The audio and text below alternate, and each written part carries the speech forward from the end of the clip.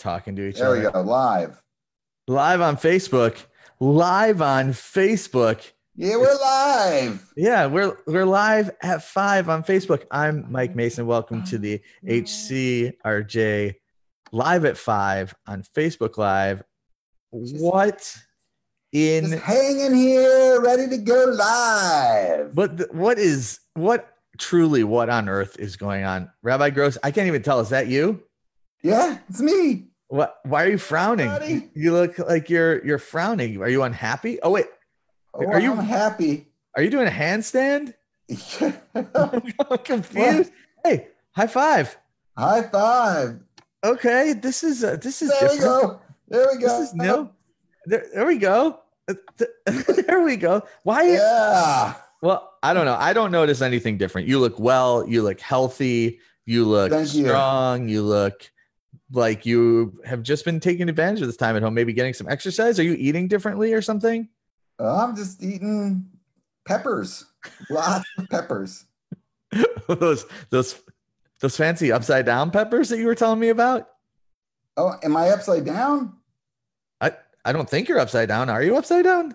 No, I think I'm right side up. You look good. You know what? As you mentioned it, you look upside down. Oh, I'm upside down. You're upside down. Oh, okay. Hang on. Let me uh let me see if I can right side up myself. Hold hold on here. Maybe this will fix the whole thing. Oh, that's better. oh, thanks. There, we're both better. right side up. Now we're both right side up. I'm sure. All that- Okay, so wait a second. I know what you're doing here, Rabbi Gross. I wasn't born yesterday because if I was born yesterday, I would have been born the day before April Fool's Day. Are you playing Yes. an April Fool's trick on me? April Fools. All right, I'll right my wrongs. oh man, you really got me that time, Rabbi Gross. I don't know where you went. I think you turned off your video. I mean, you, you must be pretty upset. I don't, I don't know what's going on. You left me, and now I'm here all by myself. But that's all right. I can handle this. Um, in the meantime, while we wait for uh, while we wait for Rabbi Gross to to come back with us, um, say hey to us if you're on our Facebook Live here. I see Carol is here. I see that Michael Kingsley is here. I see that we've got some people watching, and we love that you are watching with us here. Um, so it's interesting timing that you are here with us. It's interesting timing to be with us in April, which is yes, we are all on our on our own sort of time frame, right? Every day is a little bit different. Uh, oh, wow. Hello there. I think you're muted, but that's okay. Every day, are you muted or unmuted?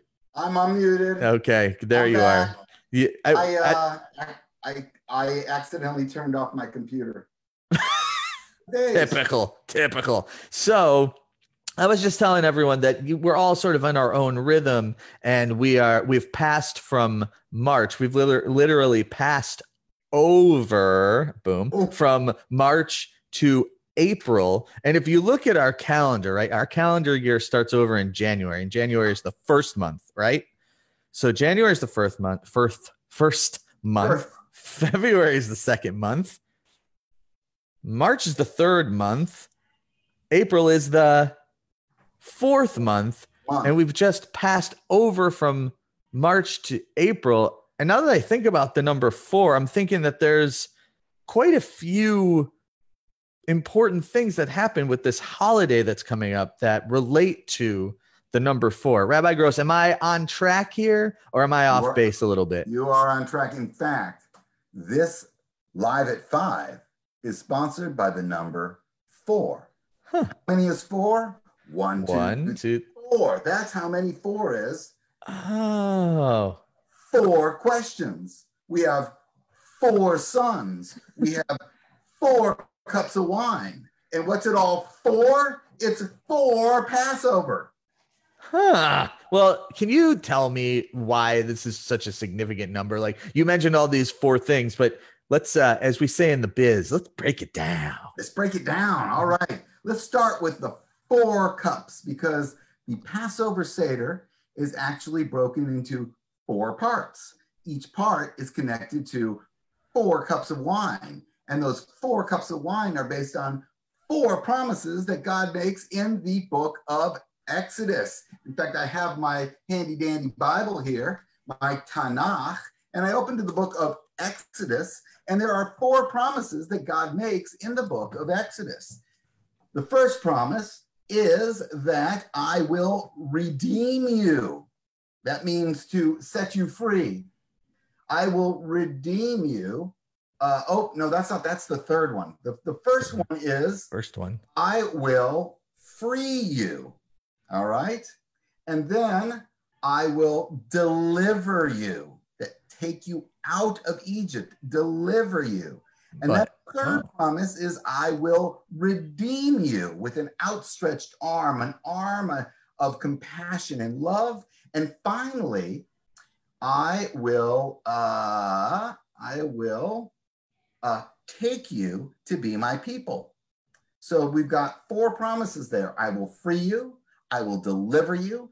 I will uh, um, uh, redeem you with an outstretched arm, and I will take you to be my people. That's four promises Four. God makes.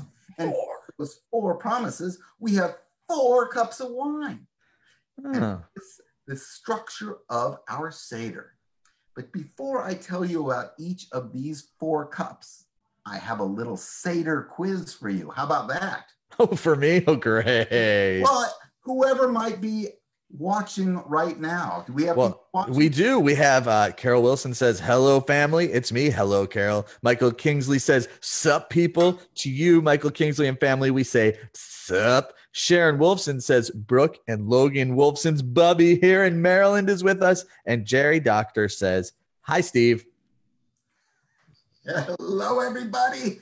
So let me, here's your quiz Okay, I'm ready. who are watching. And Mike, you can play too. Okay, let's do it. Those of you who are watching, this is the quiz that will rattle your mind. Can't wait to have my mind rattled. Are you ready? The rabbis argued back and forth what was the minimum amount of wine that you could put in each of those cups. Not the maximum, certainly you could fill it overflowing. I know the answer. The minimum amount of wine that you would have to drink each time you did the kiddush, each time you did the blessing over the wine, what was the minimum amount of wine that you should drink to fulfill that commandment to drink of those four cups? So Uh, here's the quiz. Okay. All right. One of the question, one of the ideas was that you would drink one quarter. You'd put enough wine to fill one quarter of the wine per cup, right? So if it was a bigger cup, you'd have a little bit more wine, a little smaller, but each, as long as you filled the cup to one quarter full, that would be enough. That would be the minimum amount. That's one. All right. Answer number two is the amount of liquid displaced by one and a half eggs. That's extremely specific. Very specific. Here's the egg. Now imagine putting this into a cup of wine and it displaces the wine and then one half more. So one and a half eggs worth of wine. All right. That's answer number two. Answer number three is you see this? I do. Amount- looks- of wine that was the size of a large olive. Maybe with the pimento, maybe not. But maybe with blue cheese or something. could be that, could be a Yeah. little onion. I don't know. But the amount of uh, this, this, this would be it. The- The Hebrew word is kezayit, kezayit, not gesundheit, kezayit, Good. Yeah. amount of, uh, of one olive. So answer number one, A quarter. quarter of a cup of whatever the size of the cup is. Answer number two, the amount of liquid displaced by one and a half eggs. Okay.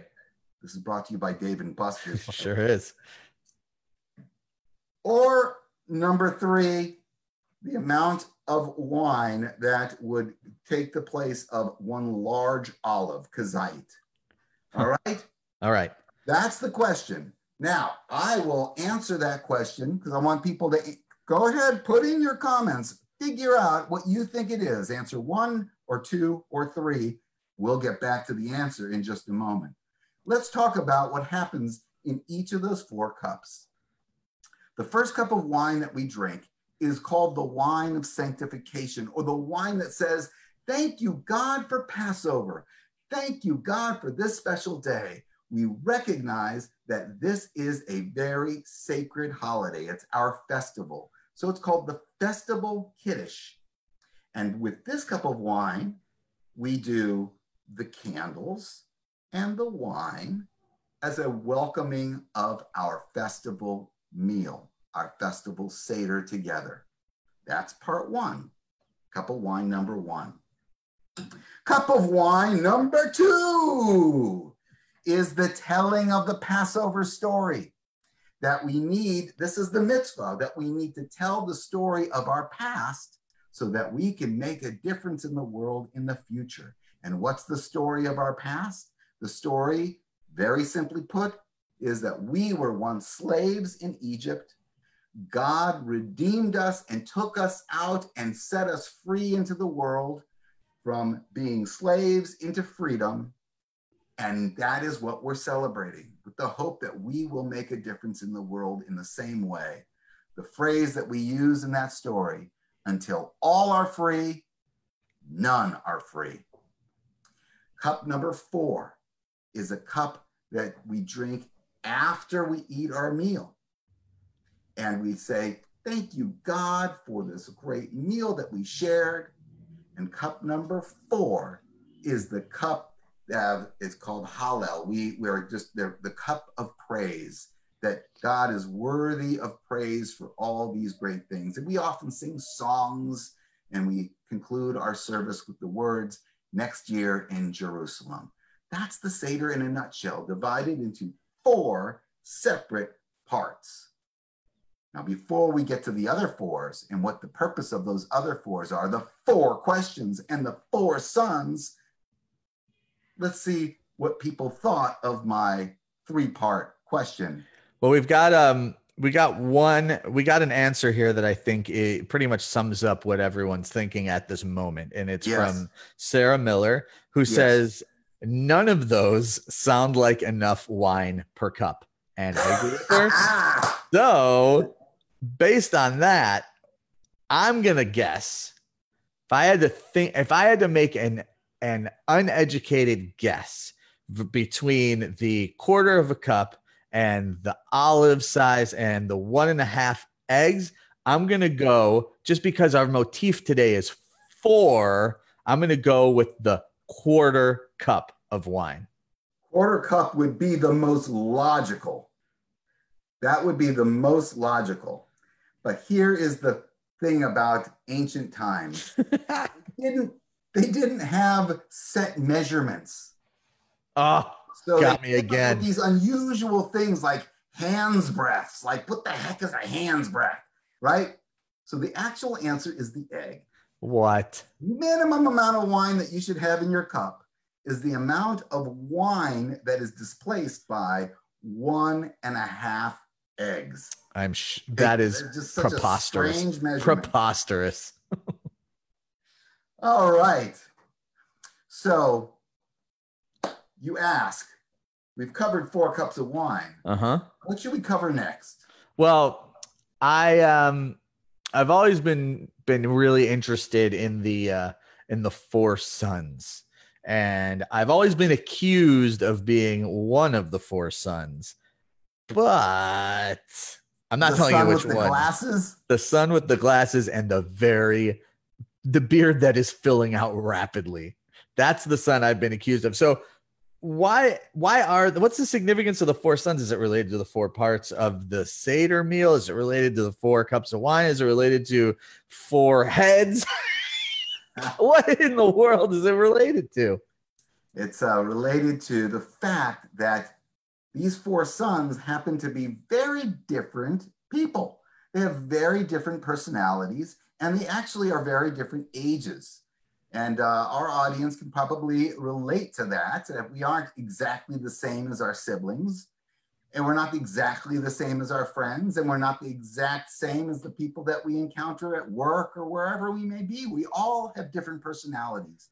And the Seder recognizes this. Our tradition says that we should teach the story of our Exodus and tell the story of our Exodus depending on the learning style of each of uh, the people that we're telling it to. So that Ah, I like that. it into four different kinds of people.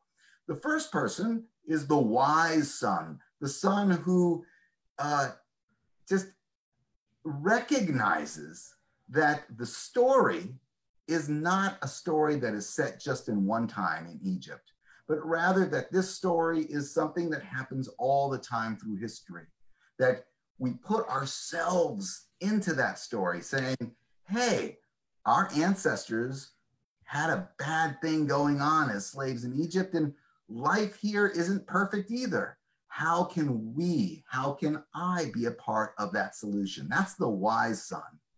Then there's what they call the wicked son. It's not, he's not really evil. He's not really wicked. He's not like, you know, Dracula or something, but he is, or she, it, it should, we call it the sons. Honestly, it's four The different kinds of child. Mhm. that's right. So I'll say she in this one is not evil or bad, or she just says this. It's none of my business. It doesn't affect me. This is an old story, and I'm in another age. This took place in the Torah. I'm living in the year 2020. What does it have to do with me? Well, what, what's not smart about that or what they say is is just not right is that this story is what compels us to change the world for the future so the person who is not connecting to that story is uh, the person number two the third child is the child who uh, just it doesn't really matter it's kind of naive like oh da da da da da da. That's where most of us are most of the time. Like, hey, the world's just spinning around. I don't even know the story. I don't know. Doesn't know anything. And then the last child is the one who's so little, can't even speak, doesn't even know the questions to ask at all. And so, what we need to do, how does this all come together? I'll tell you. What we need to do is teach our Seder lessons in a style that relates to each and every kind of learner. So there should be some thinking going on, and some singing going on, and some storytelling going on, and maybe even some crazy stuff going on, like hiding the Afikomen. All of these things keep each of the kinds of children involved in the story. You said on the last one, uh, the the last child doesn't even know like what questions to ask. Like what? Like like four questions or something ridiculous like that? Four questions. Oh my gosh! It's like it's like it was right there, just waiting for me to trip right over it. well, you tripped twice. What? There aren't really four questions. What? How many are there? There's just really one question, and, but Oh. four answers. Oh, okay. Here's- So, what? I know what the question is. You know the question. Yeah, I know what the question is, The but I'm not gonna. I'm not gonna tell you. I'm not. I'm not telling you. everybody knows that question. It's like, how can I make matzah taste good? That's the question. Oh, that's yeah. That's so easy. That is so easy. You brei it. How do you make your matzah taste good? You brei it. You brei it, and you brei it. And Michael Kingsley here said that he uh he goes with three eggs minimum for his amount of wine. When I brei, three eggs for this guy. But just a little. four. Today is about four. I understand that, but that would really throw off my ratio. So what what tell okay, so now I'm obviously spun around in a million circles. Four sons or children, four cups of wine, questions galore, four parts of the Seder. Can, t- take it home, Rabbi Gross. I need All a little bit more, please. All right. Let me just tell you the, the, the, the one question is why is this night different from all other nights of the year? Our Seder is different because on this night we do four things probably do a lot more than just four things, but the four things that are mentioned in the Talmud are the fact that we eat matzah instead of bread. Dessert first. Yum. We eat. Oh, uh, that's not one. That's bitter not one. herbs. Oh. All other nights, we might eat lots of different kinds of herbs. On this night, we specifically make a point of eating bitter herbs to remind us of the bitterness of slavery long ago. Huh. The third is that on all other nights, we might not even dip once. Well, maybe we dip a potato chip in some uh, onion dip. That's yeah, yeah, I know.